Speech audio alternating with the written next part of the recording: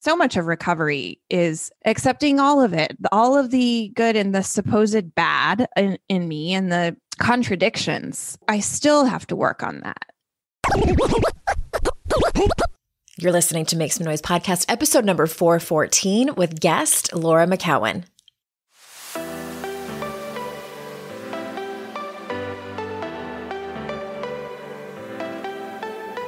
Welcome to Make Some Noise podcast, your guide for strategies, tools, and insight to empower yourself. I'm your host, Andrea Owen, global speaker, entrepreneur, life coach since 2007, and author of three books that have been translated into 18 languages and are available in 22 countries. Each week, I'll bring you a guest or a lesson that will help you maximize unshakable confidence, master resilience, and make some noise in your life. You ready? Let's go. Hello, everyone. Welcome to another episode of the podcast. I am so glad that you're here. I'm excited this morning because Laura McKowen is on the show. She's a longtime dear friend of mine, and it's been several years since she's been on. So you may have forgotten all about her story. So it'll be like hearing her on the show for the first time. And I also wanted to mention that if you purchased a copy of Make Some Noise, which I sincerely hope that you did, don't forget that there is the workbook that is available for free. It's still available. If you head on over to andreaowen.com slash noise, you can find that bonus over there. It's a great accompanying thing to be able to do the work instead of just read about it. Also, wanted to mention that I have one spot open for private coaching. We can do kind of two different things. You have two options when you come to work with me. We can go through the Daring Way and Rising Strong, or just one or the other, which is the modality based on the research of Brene Brown. I'm trained and certified in her work. I'm taking one person through it right now, and it's amazing. You learn brand new tools and get it in your bones so you can take that work with you into your life forever and ever. Amen. And also, you can come and work with me without doing curriculum and you bring your own agenda. You bring your primary focus. And sometimes people have a goal that they want to accomplish and they just cannot seem to get past the obstacles. Or sometimes it's relationships that they're having a hard time setting boundaries. They've gone around in circles with someone or something and they need some guidance. And you can head over to andreaowen.com slash apply and fill out the application there. I also have Liz and Sabrina, who are my lead coaches that also work with clients, and that might be a better fit for you. So head on over to andreaowen.com slash apply, and my team will help you figure out what is the best fit for you. Alrighty then. For those of you who are new to Laura, let me tell you a little bit about her. Laura McKowen inspires people to say yes to a bigger life. She's the author of the best-selling memoir We Are the Luckiest: The Surprising Magic of a Sober Life, and the founder and CEO of The Luckiest Club, a global sobriety support program. She has been featured in the New York Times, The Guardian, WebMD, Psychology Today, and The Today Show. Laura has an MBA from Boston College and lives with her daughter on the North Shore of Boston. So without further ado, here is Laura. Laura, welcome back to the show. Thank you. Hi. It's so fun to have you on here in a in a more professional setting. I know. I know. It's been years and too. It's been years. I feel like eh, the last time you were on was 2015 or 2016. No way. Yeah, well, that's when I had my recovery series, and, and we'll drop that link in the show notes. And that's why my first question is to ask you about your story because it's been so long since you've been on. Even if people did listen to that, it's a different show, story now. They they don't remember. Yeah. No. And so can like let's let's dive into specifically your sobriety story, like how you went from working in advertising mm-hmm. and drinking to now being a sober person in recovery and teacher and author, speaker, all of those things. Okay. I know that's like a that could take like 45 minutes. Yeah, I'll do it. I'll, you could I'll give us the condensed version. Much quicker version. Yeah, I uh I was in marketing and advertising for 15 years I was going to say, I grew up in Colorado. I guess that is sort of relevant. I moved out to the East Coast uh, right after college, and I just started working in in marketing, and it was a very boozy culture, and I had you know arranged my life in every way uh, around fun and alcohol mm-hmm. and and also working really hard. And I you know went to grad school in out here. I still live here. I got married. I had a little girl in um, 12 years ago. And then I got divorced. And that all happened around, uh, well, I had her in 2009, but I, then I sort of started to hit the wall with drinking pretty quickly after I had my daughter. It was not great before. And mm-hmm. then it changed, uh, you know, pretty badly after I had her. And uh, I it started. I say it's it didn't work anymore. didn't work the yeah. same way it used to, and so that shortly after that, I got divorced, and then the wheels really came off. And between 2013 and 2014, I started to earnestly work towards getting sober, uh, earnestly and reluctantly. I did not want to get sober. I thought it was the end of mm-hmm. everything.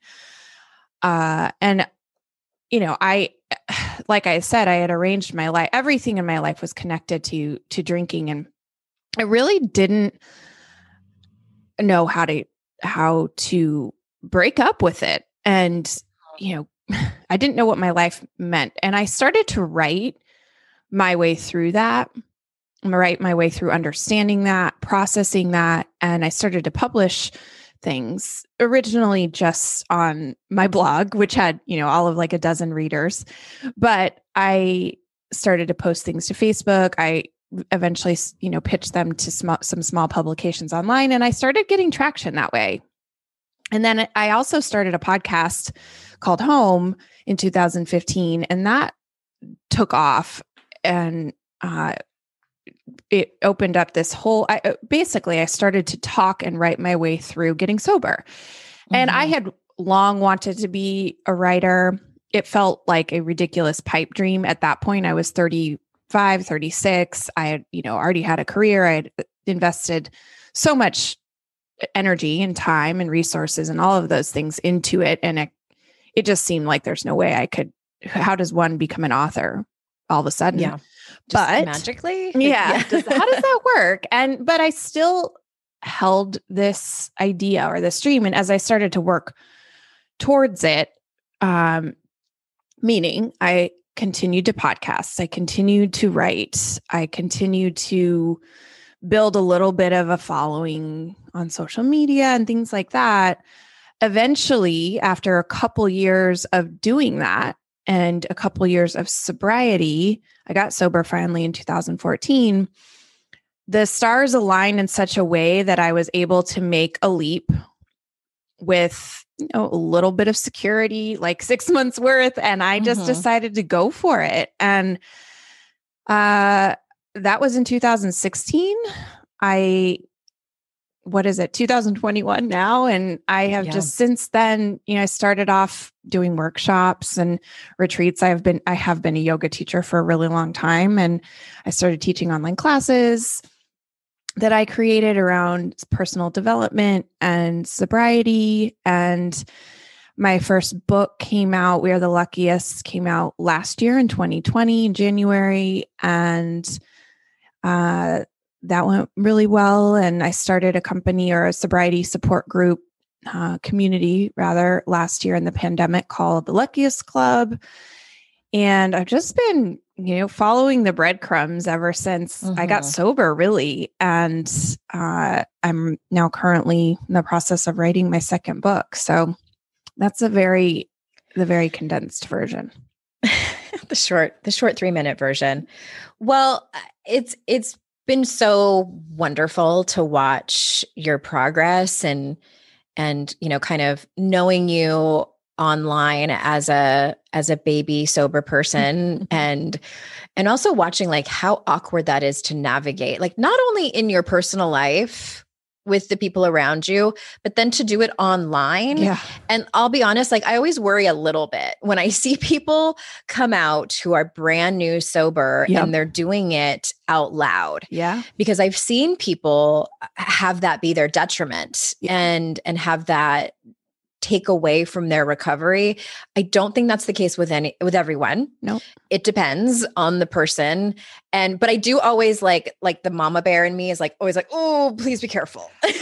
Well, totally, because it is, it's an intensely private process and there's no yes, and it's very raw in the beginning. Yeah, and and anything that seems like a shortcut usually is, you know, mm-hmm. whether you get into a relationship right away and everything's grand and you know, you're sort of able to ride that out or you get a lot of success because you're able to get your word out, you know, and or you're I mean, the the thing is if you do it out loud, you're doing it in front of an audience and so some part of your internal process becomes performative and Right. how could it not so Because you know you're going to get some kind of feedback. right yeah i mean that have definitely happened to me at times Mhm. i realized i was way out, out ahead of my skis and uh it you pay for it I- Yeah. so yeah I, I hear you on that Yeah, it can be tricky. And then for some people, they use it as account- an accountability measure Yeah. and it works for them. yeah Well, I, I, and I don't want to spend a whole lot of time here, but I do want to ask you because I'm sure that you get people who come into your community and into your membership group who are, um, because I forget, do you identify as an alcoholic? no i don't Okay. i just i it's not because i don't let- let me pause there and ask you about that. Tell me why. I just, to me, the word, no one hears the word alcoholic and thinks anything. It feels just punitive to me.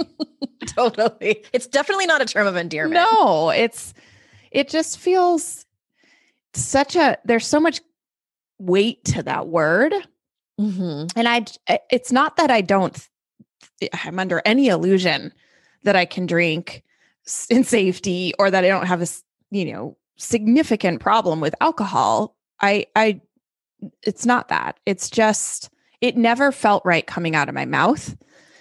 And I just don't say it. I honestly, I don't need, like, I don't want to sound flippant, but I just don't care. Yeah. Like, I, I don't need to say that. I just don't need to say it. Some people do who who identify. Totally. I'm kind of indifferent. I don't care if people do. I think use whatever words, as long as you're not bullshitting yourself, Right. use whatever words you want. Don't use it as a way to completely be in denial. Right. Um, I personally, for sure, identify as an addict. Like uh, Mm. my when people when I go on sobriety podcasts and they ask me, you know, did you have a rock bottom moment or the moment you knew you needed to get sober? And I say yes and no. Like my rock bottom moment was in my love addiction and codependency years Yeah. prior. Alcohol was just the thing that I grabbed onto when I started healing from codependent and love addiction behaviors. And and within a couple of years I knew that I needed to quit that as well. It was it, for me it was just a symptom. So do I have addict thinking? 100%. I feel like I just was very blessed that I never found heroin or meth or Mhm. got too deep into cocaine Mhm. um, because I would have been a drug addict. I, I definitely identify as an addict too. I don't walk around saying that. Not it, uh, it just doesn't come up in conversation. But it, as you're Right. taught, it's like, of course, yes. I seem to be my life uh, path seems to be quitting things over and over again. Right. my growth path seems to be well what are we going to have to quit this year laura well, and you and I were having a converse, an offline conversation, I think just earlier this week, and I said my thing with relationships has always been how fast can I? What did I say? How fast can I run into your face? fast can i run into your face That's that was my goal. How Oh. fast can I get into this relationship? Yep. Fall in love. yep Make you my world. Yep. Be obsessed with you, and hopes that you are obsessed with me. yeah and then it all explodes. yeah how long can we go on like that before we actually open our eyes I used to half joke that I would run around corners with my eyes closed and my arms open. Like that's oh, how i I so ran into all of my relationships. Yeah. like friendships, yep romantic partners. And it's not, it's only until now you know, in my mid 30s, I think, where I started to realize through therapy and recovery, like, oh, that's that might be my habits and my coping mechanisms and part of my personality, I feel like, but that is not working me. And that is not how healthy relationships work with anything or anyone. Yeah. I, and it's a big light bulb when you figure that out because it's like, wait, isn't it supposed to feel like that? No, it's actually mm-hmm. not, you know. It's not. Okay, well, tell us about your book, which I'm holding right in front of me. It's mm-hmm. called We Are the Luckiest The Surprising Magic of a Sober Life. And it's, I love this book because it is part memoir. And please tell me if I'm totally wrong, but I took it as part memoir, part self help, where you tell stories mm-hmm.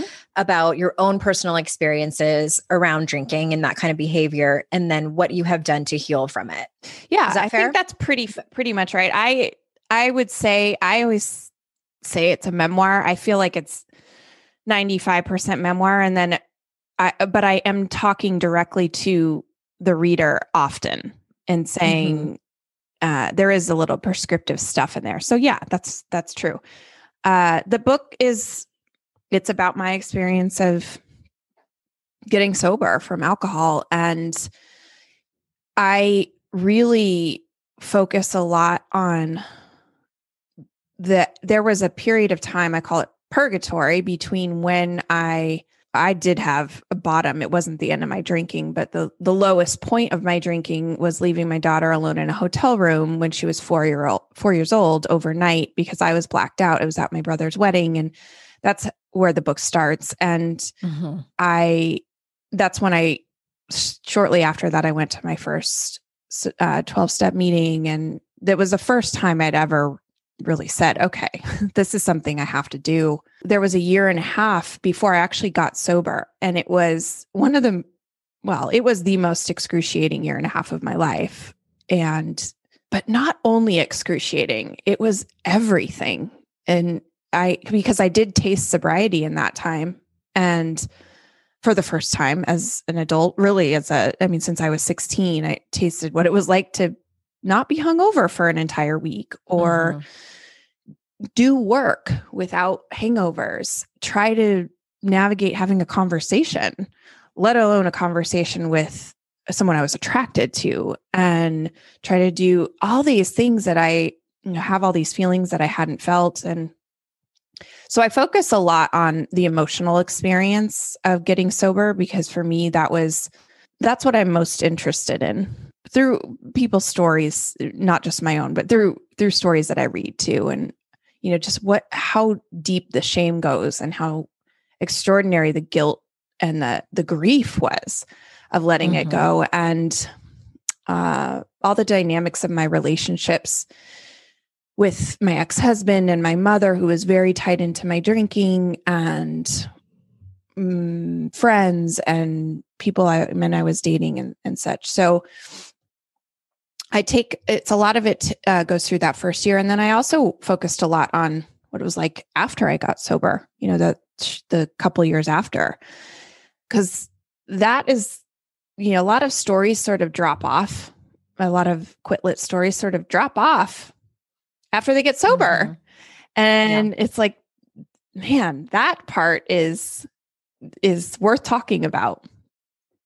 So, yes, well, and and this book, I think, I, it definitely is helpful for people who know that they have a troubled relationship with alcohol, or you know, and they're thinking about getting sober, or they ha- they are sober. But talk to us about the people. You know, do you have people that enter your program who are sober curious? Mm-hmm. Tell us about that. Yeah, I the the book I actually one of the main things I have uh, really tried to convey with the book and that I try to convey in all my work is that addiction is not even that interesting. It's a completely human condition. We're all addicted in some way. And mm-hmm. if it's not addiction, I'm just mostly interested in the things that shatter our concept of self as we know it and usually cause us such extraordinary pain that we're invited to live in a different way. My invitation happened to be through addiction, but everyone has a thing. I talk about that in the book. It's it could be divorce, it could be losing someone you love, it could be chronic illness or just horrible illness, it could be all kinds of things. We all have something. We often have many things. mm-hmm. And it's a plethora. So I wrote I really don't see it is this story is primarily about alcohol addiction. Yes, but pain is a human story and struggle is a human story and these types of invitations to wake up to our lives which is how i see it is a completely human story and so i get people yes that are sober curious uh, and i'll go back to that in a second but i also get people that really don't struggle with alcohol at all that's not their thing but they have something else you know lots of people who've struggled with food, lots of people who struggled with getting over a relationship or grief. You know, mm-hmm. I ha- it is it was really important to me and it is really important to me to take this specialness out of the story of addiction. And what do you mean by that? Like it's just not that interesting. It's not unique. Okay.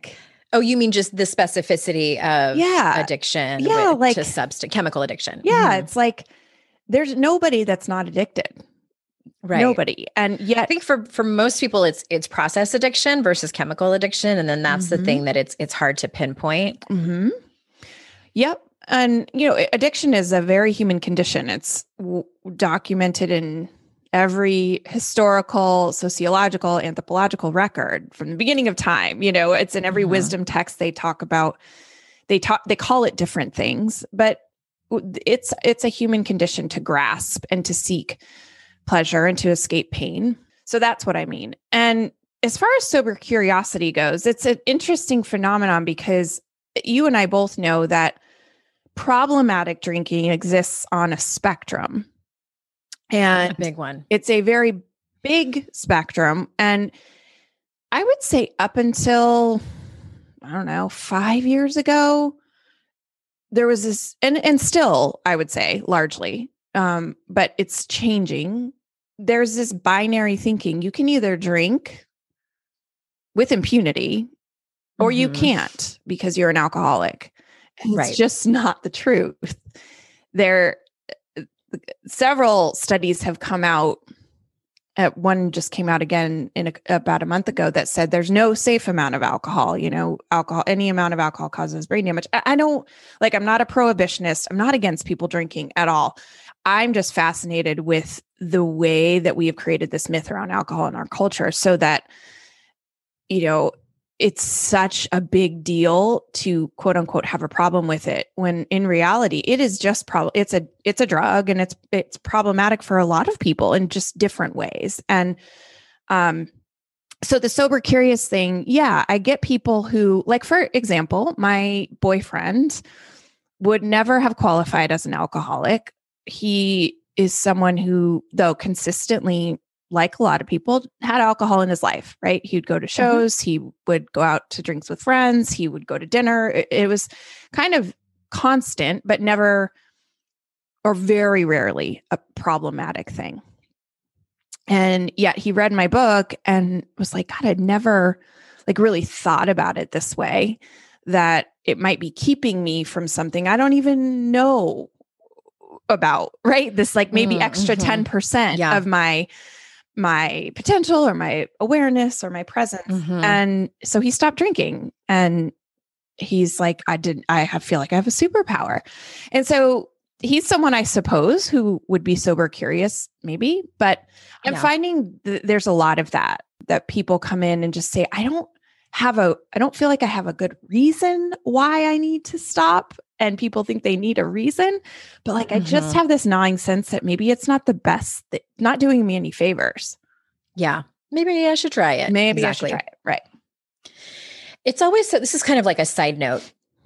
And I feel like we've talked about this a while ago, but the people online, and it's typically women that I see. Mm-hmm when you know you or i or anybody in the sober community speaks out, especially against mommy wine culture and and you know just how obsessed our society is with alcohol and that there's some pushback like there's people who get defensive and i think when you when you get defensive about something sometimes that is an indicator that something is against your values like if somebody mm-hmm. goes online and says trans people are weird you would get defensive because you believe in equality and right. you know tolerance and right. uh, you know like that type of thing like that that kind of def- being defensive is warranted. But it's so interesting to me when people push back and get defensive it's almost like the gun people come out you know like mm-hmm. how they are like don't take away our guns. It's like no one's trying to take away your booze. Like we're not we're not trying to change legislature. Like, of course, drunk driving is bad, but like we, all we're doing is spreading awareness and asking questions for people to maybe think more about their choices and their coping mechanisms and the, you know, just their whole thinking. Yeah. Well, that's part of what I'm talking about when I say the cultural sort of story we have around alcohol. It's just really interesting when you break it down because there are more deaths you know, caused by alcohol than any than all the other drugs mm-hmm. combined, including illegal drugs and prescription drugs. There's, you know, that just goes on and on, but we don't think of it like a drug. It's like alcohol and drugs. It's like no.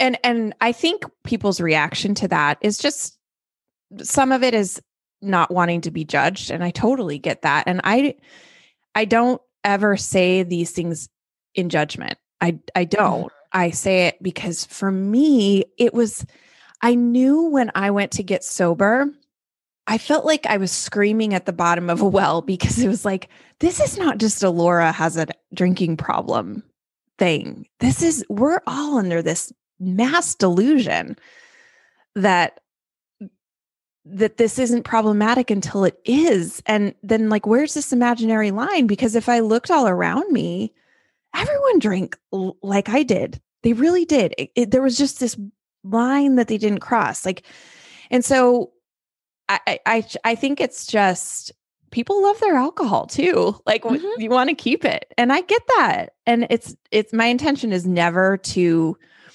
judge or to proclaim that everyone needs to abstain from drinking or anything like that. It's just like ask these these d- these interesting questions that sort of challenge the entire paradigm that we have around drinking. And it's like you poke it and you see oh there's a lot of, there's a lot in there because these yes. reactions are interesting right?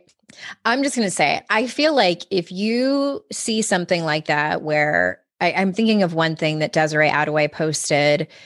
It was at the beginning of last school year. There was a i don't know what store it was at but there was a display of wine and the sign said something about virtual learning. It's helper. Trader Joe's. It was Trader Joe's. I thought it was, but I didn't want to throw Trader Joe's under the bus. I, I, love, Trader them. Joe's. Yeah. But yeah, they was, missed the mark. That was that not one. great. And and and Desiree Adaway, who's an anti-racism educator, you know, talks about white supremacy. She was talking about that and mm-hmm. capitalism and and patriarchy and stuff and how it's harming women. Anyway, the comments, like people mm. got pissed off. And I remember thinking to myself, I feel like if I did not have any kind of super attachment to alcohol, I would have just scrolled on by and I wouldn't have cared. Yep. I would have been like, oh, that's an interesting opinion. I don't agree with it, but whatever. Yeah. Not not my argument. So if someone is so inclined to die up on that hill, I feel like you might want to check yourself. Like there might be something there. Yeah. I I, to- I know it's really interesting to watch. If you compare it mm-hmm. to to like cigarettes in the 70s or something, or even 60s, even 80s, I suppose, before. I think it was the 80s when we really started to wake up about it. Like yeah. Shame people for it. there, I know, right? It, it was similar, you know, mm-hmm. it was, no one questioned it. It was a very in vogue thing to do. Doctors even recommended it. You could smoke literally anywhere. And now mm-hmm. it, there are some, there's some taboos around smoking in certain places. There's laws against it in many places, and it's just kind of fell out of of cultural favor. Right. But drinking it's a bang up marketing job on the part of big alcohol for sure. And it's also I'm I'm I know we don't want to like talk about this the whole time, but I'm truly fascinated by the cultural element of it the the myth that we've created around it. I i'm truly fascinated at how much we love our alcohol and mm-hmm. protect it right? To the point where you see someone you the the data is right in front of our face. Like we talk about the opioid crisis right? Mm-hmm. it's tiny teeny teeny teeny teeny tiny compared to the alcohol crisis mm-hmm. it doesn't even come close but we can't no one wants to hear that. No. no no. So it's just study after study proves it. Yeah it's just it's one of those things where i just constantly go this is a fascinating cultural study. In mm-hmm. the way that we have blindfolded or uh, uh, it's like it's a mixture of social acceptance marketing like indoctrination all these things that it's a it's a man someone should at some point maybe i will maybe you will maybe someone will create just a, a really fascinating study. There's been bits and pieces of it but i don't think it's time yet. I don't think people want to hear it quite yet. It's just uh and big alcohol we are a country in denial big, yeah. we're a country in denial and big alcohol about, about a few things. Big alcohol is big too you know it's it's massive. Goes all the it way is. up to the levels of government. But anyway i don't want to steer too far into it. It and if i was someone you know someone is um i guess the bottom line is i would have tuned out this type of conversation like 15 minutes ago because mm-hmm. i wasn't hearing it. Right. Yeah it's not it's not for me. It's not for me. Well it, it will be when it's when it's time I am interrupting this conversation to bring you a few words from some of our sponsors. Y'all, the holidays are quickly approaching, and most of us are busy to some extent. My family, we are traveling to San Diego and Vegas this year. As you know, life around this time can be stressful, and it's so important to prioritize taking care of yourself. And that's why I love Banyan Botanicals. They are an Ayurvedic company with products and guides that make me feel great and help me focus on my wellness from the inside and out. Banyan Botanicals takes a holistic approach to health. They offer tons of free guides and resources that are so helpful in coping with holiday stress. My recent favorite of theirs, I've talked about a few different products that I use, and I love their Banyan Botanicals turmeric milk mix. It's the perfect cozy winter drink, and it supports digestion and health circulation. Plus, it's caffeine free, which is important to me because I drink it in the afternoon. To top it off, Banyan Botanicals is a certified B corporation and is committed to sustainability.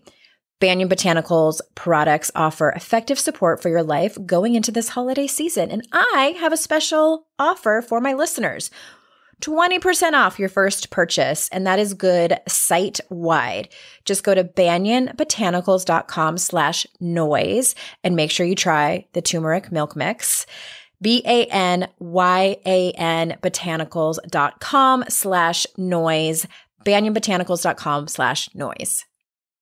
You've heard many of the guests here on the podcast who are licensed therapists, and you know I encourage everyone to go to therapy. I'm proud to have BetterHelp as one of our sponsors because there's so many things I love about their service. When you sign up for BetterHelp, they'll assess your needs and match you with your own licensed professional therapist. You'll get timely and thoughtful responses, plus you can schedule weekly video or phone sessions. It's more affordable than traditional offline counseling and financial aid is available. Their licensed licensed professional counselors specialize in things like depression, stress, anxiety, relationships, sleeping, trauma, anger, family conflicts, LGBT matters, grief, self esteem, and their service is available for clients worldwide. I want you to start living a happier and more fulfilling life today. As a listener, you'll get 10% off your first month by visiting our sponsor at BetterHelp dot com slash kickass. Join over 1 million people who have taken charge of their mental health. Again, that's betterhelp, H-E-L-P dot com slash kickass. One of the things that I find incredibly overwhelming is food. I know. But it's the whole process of it. It's the planning, it's the deciding, it's the shopping, it's the prepping, it's the cooking, like all of it. And this is one of the many reasons I love Green Chef. They are the number one meal kit for eating well, and the ingredients come pre measured. They are perfectly portioned, mostly prepped so you can spend less time stressing and more time enjoying delicious home cooked meals. They offer 30 weekly recipe options, and I love that amount because it's just enough to have a really great selection, but not too many to where you have decision fatigue and are just super overwhelmed. You can also switch up your plan whenever you're ready to try a new way of eating.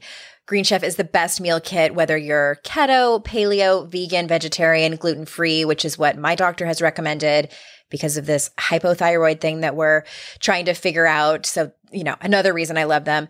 Uh, if you're a pescatarian or you just want to eat more balanced meals. I love using them because I get to cook with my husband and it's not stressful. It's just all right there. We get to enjoy each other and have a good time cooking. This deal that they're offering right now to y'all is absolutely amazing. Go to greenchef.com slash kickass125 and use code kickass125 to get $125 off, including free shipping. It's greenchef.com slash kickass125 and use code kickass125 to get $125 off, including free shipping. I absolutely love them. I think you will too. And thank you so much for supporting our sponsors because when you do, that in turn supports this show. I want to shift gears slightly and talk mm-hmm. about. Um, I know that a good portion of your work focuses on people reclaiming their power mm-hmm. after becoming sober. So what in what are some ways in which a newly sober person can learn to hear and speak their truth and kind of renew their sense of meaning and purpose? Yeah. The it's something that it feels like it's very cliche to say reclaim your power and all of the that. But but I mean it I I actually really mean it. We especially especially women, I find, get very lost in the roles that they play and alcohol or any other let's let's even leave alcohol behind and just say we find ways to cope with the pain of things we've endured and the ways that we abandon ourselves right abandon mm-hmm. our voice abandon what we know abandon what we want and we do that unconsciously mostly and we mm-hmm. i i i mean thousands of women at this point and there's some men in there too get to the point where at the you know by the time they're say their kids have grown up that's usually when it happens or some at some point in their kids growing up they realize they don't have a sense of identity. And or they've put the sense of identity that they do have is really i'm a mother i am a i'm my job you know? Mm-hmm. and they don't you ask them what they want they want to eat for dinner or what they're if they're tired right now or if they're hungry right now and they don't know. Yeah. And it's such a and and that kind of dislocation from yourself is it requires relief. And people find it through alcohol they find it through their phones they find it through whatever. We have a million ways to ease that pain. And when you take away the alcohol or you take away whatever it is that is helping you to numb that you're left with this sort of vacuum. You have a choice to maybe get curious about that and ask some questions about who you are and what you want and the number one thing I always tell people to start doing is just writing things down. Just, mm-hmm. It sounds again kind of cliche, but it actually works. It's science. It's scientifically proven. It works. write mm-hmm. some write some shit down. Like get a pen and paper. It's the most. It's also available anytime and for free. Just start writing in the morning, like how you feel, and be honest. What's mm-hmm. going on with you? How do you feel about your relationships? How does your body feel? What are you, are you, do you have any meaning in your days? Like, w- what is giving you meaning? What's not? burn those pages if afterwards if that's what is required for you to be honest but start doing that and what that really is is having is getting thoughts and feelings that are inside of you outside of you. So putting them on the page and i really getting them out of your body right? And starting to gently unearth the subconscious and allow it's like I just started gardening this year and it's like there's parts of my uh I've never I've never dug a hole in the earth. I've never tried to plant anything. And it's interesting and all kinds of metaphors, but there's parts of my out outdoors that haven't been dug up for years, you can tell. And if you put the shovel in, it feels like you're hitting rock right away, but you're really mm-hmm. not. You're hitting like just roots upon roots upon roots. And if you like, if I stamp stomp on the shovel, it'll go down like uh, difficultly, but it'll go down. And then you start to pull things up. And once you start to get in there, it's easier to get in there. And it's not easy, but it's very useful. Yeah. So writing. Um, the other thing is to learn about boundaries. Oh, boundaries.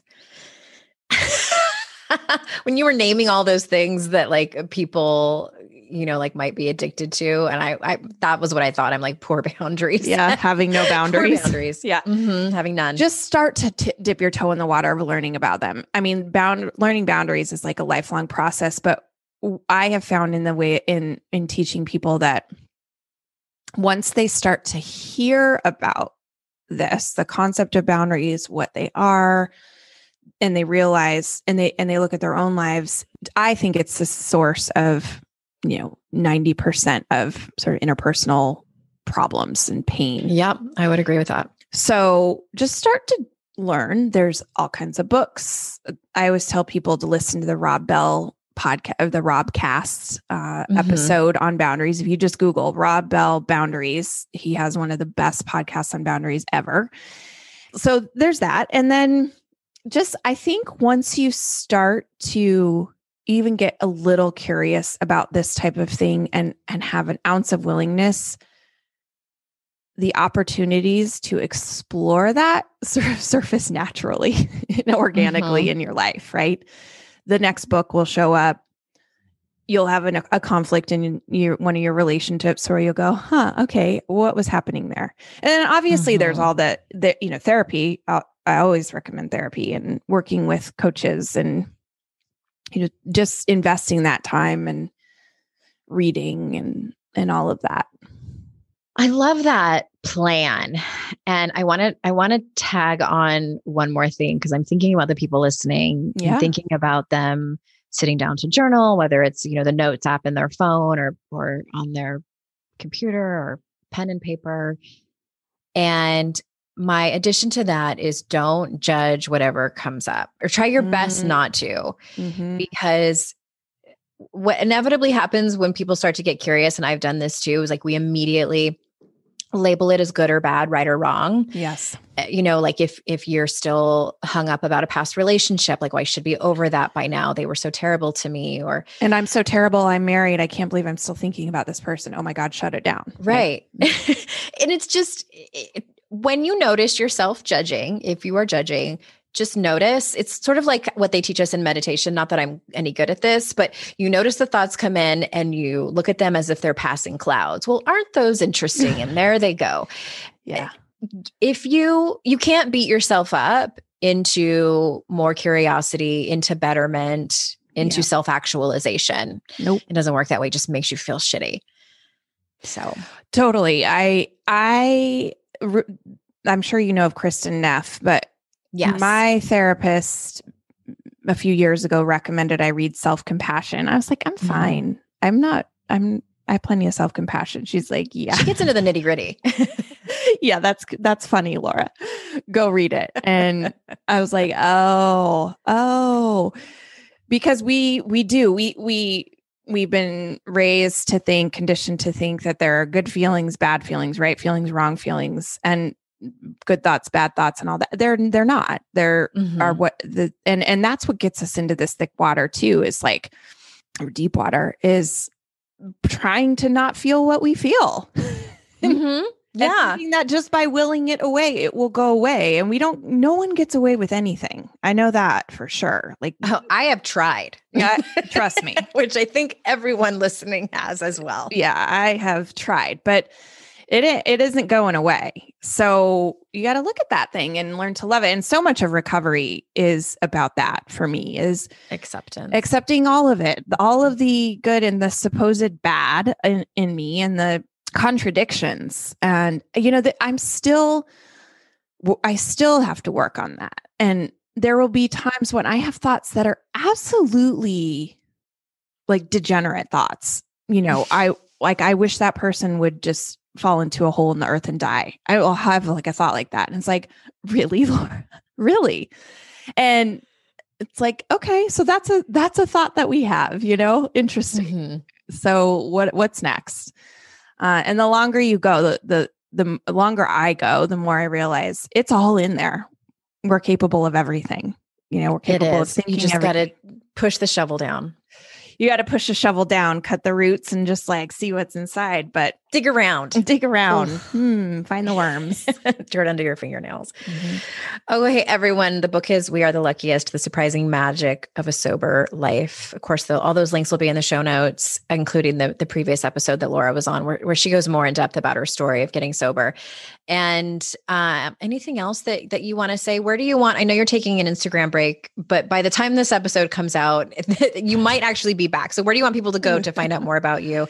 Maybe to find out more about the Luckiest Club?